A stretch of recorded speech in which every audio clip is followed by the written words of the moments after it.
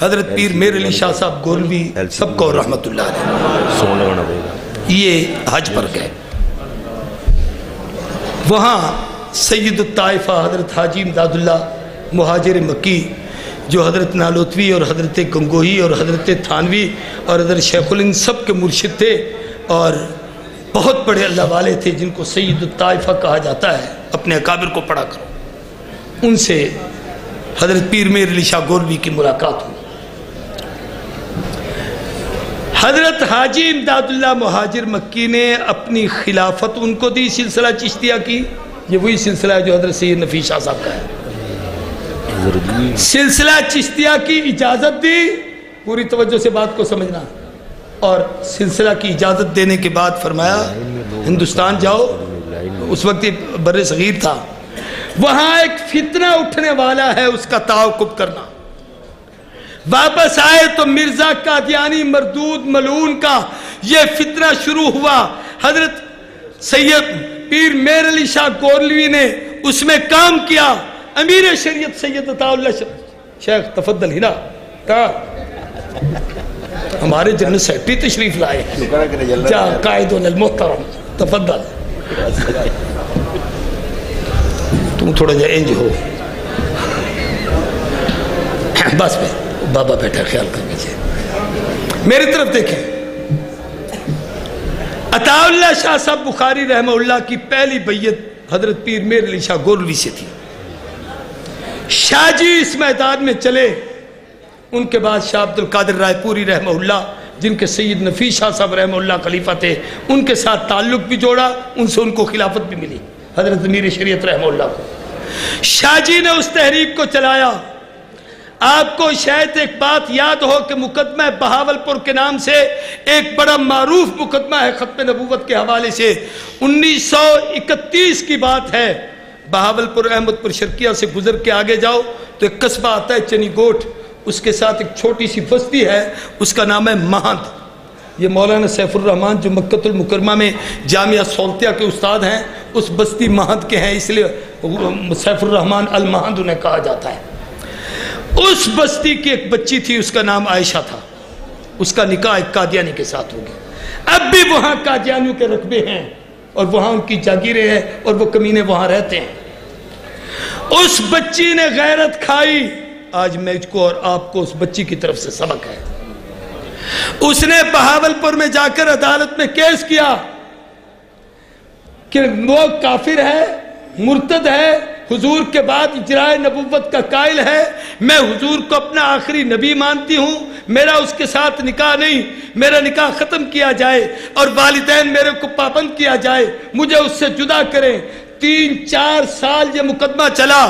اس مقدمے کے لیے دارلون دیوبند سے خاتم المحدثین، امام المحدثین، انور شاہ کشمیری اپنے بڑھاپے اور ضعیف العمری میں تشریف لاتے رہے۔ مفتی اعظم پاکستان، مفتی محمد شفیع رحمہ اللہ اس مقدمے میں تشریف لاتے رہے۔ مولانا مرتضی حسن چاند پوری رحمت اللہ علیہ اس مقدمے کے لیے بہاول پور کا سفر کرتے تھے۔ خلیفہ غلام محمد تین پوری، جنہوں نے تین پور دیکھا ان سے پوچھو۔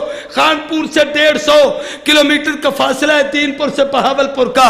حضرت خلیفہ صاحب کی عمر اس وقت سو سال تھی۔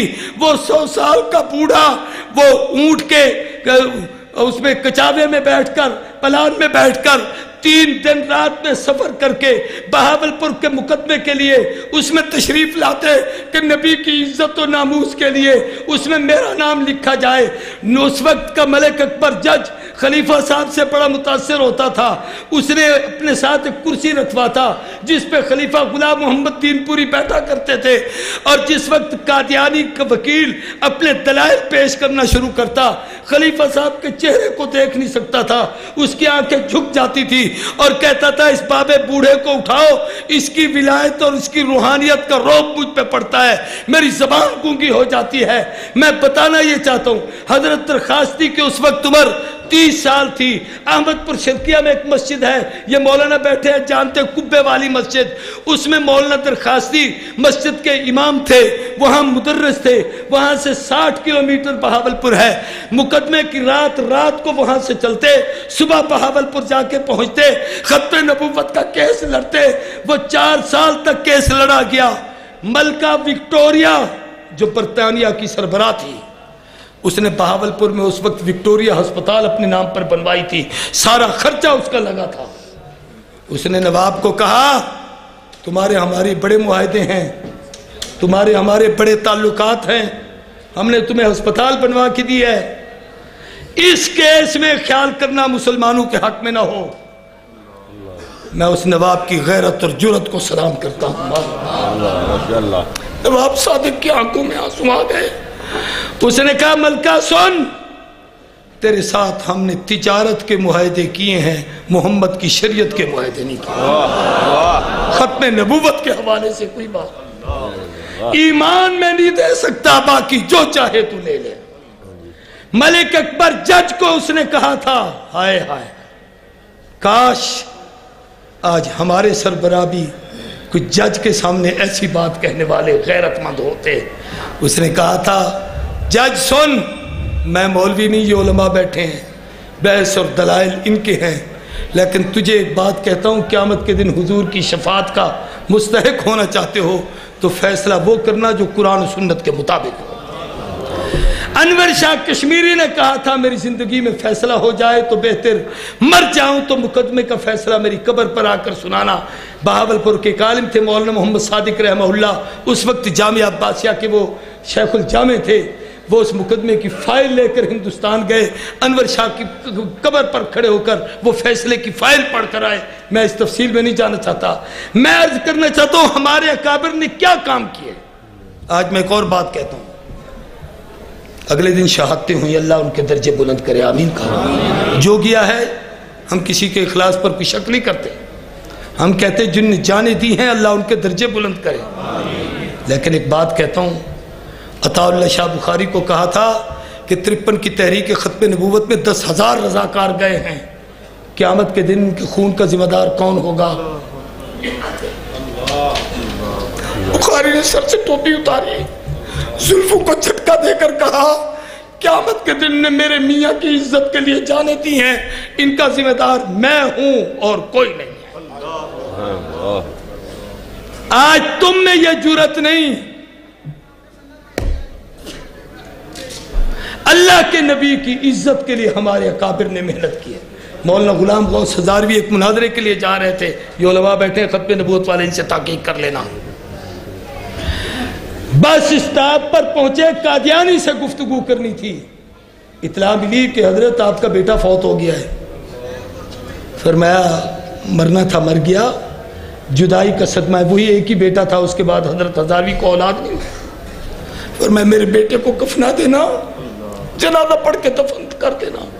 اگر میں وہاں نہ پہنچا تو قادیانی بے غیرت کہیں گے، دیکھا، سچے نبی کا سچا امتی ہوتا تو آتا نا۔ میرے نبی کی عزت پہ حرف آئے گا۔ میں محمد کی خط نبوت کے لیے بیٹا بھی قربان کرتا ہوں۔ مولانا مفتی محمود نے وہاں نوے دن اسمبلی میں وہ گفتگو اور بحث ہوئی، جس کے نتیجے میں خط نبوت کا مسئلہ حل ہوا اور میں اب بھی کہتا ہوں، اب جو کیس ہوا، مولانا فضل الرحمان صاحب دامت برکاتم العالیہ نے اس حقیقت کو قبول کیا کہ اجتماعی طور پر غلطی ہوئی ہے۔ ظاہراً عنوان کچھ تھا پس پردہ کچھ کرنے کی کوشش کی گئی، لیکن اچھا ہوا کہ وہ معلومات بر وقت مل گئیں اور شیخ رشید چیخ چلا اٹھا۔ تو میں اس پر بھی ایک جملہ کہتا ہوں، بہت اچھا چلایا۔ کفیل شاہ کا ایک جملہ کہتا ہوں، اس نے کہا، اس کو شیدہ ٹلی کہتے تھے، اس نے تو ٹل بجا دیا ہے۔ شیخ رشید نے کہا تھا، کہاں ہے فضل الرحمان کہاں ہے اللہ شاہ بخاری؟ کہاں ہے اس کے رضاکار؟ کہاں ہے احرار؟ میں نے کہا کسی بچے کو کوئی تھپڑ مارے تو زور سے کہتا ہے امی! اسی کو پکارتا ہے جس پر یقین ہوتا ہے کہ یہ کام اسی نے کرنا ہے۔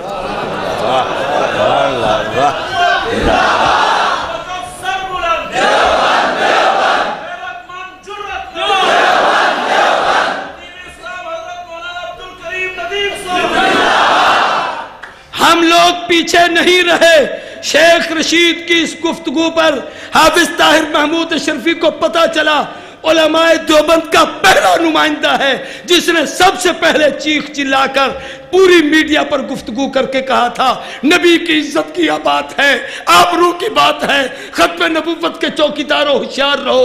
جن کو پتا نہیں تھا، اپنوں نے بھی گالیاں لکھنا شروع کر دی تھی۔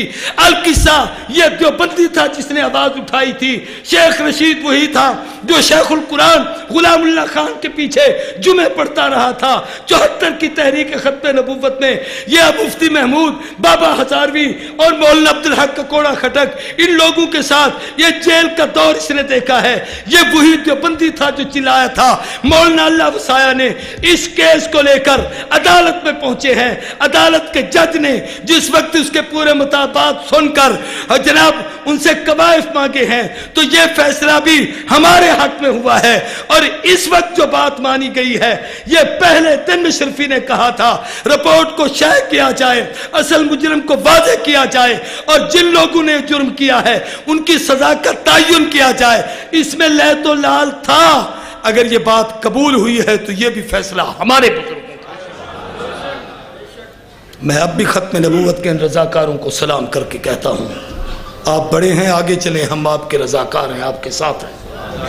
جس موقف پر آپ کام کرتے ہیں، ہم آپ کے ساتھ